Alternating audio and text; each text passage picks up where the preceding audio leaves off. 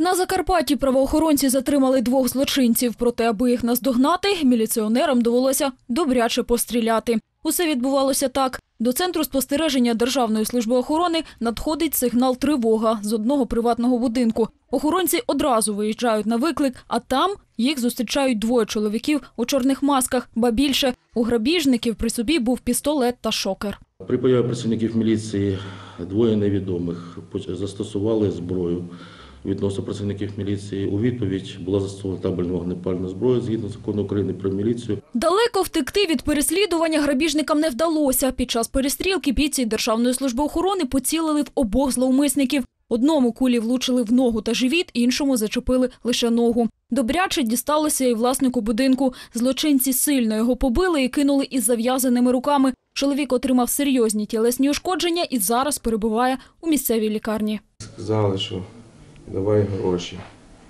Я їм кажу, що ну, на даний час час такий, що грошей ніхто вдома не тримає, беріть там, які є гроші, значить, але залиште в спокій дитину. Вони сказали, ми зараз зачекаємо твою жінку, ти побачиш, що буде. Власник будинку каже, зумів у вдалий момент натиснути на тривожну кнопку. Якби її не було, невідомо чим би закінчилася ця історія.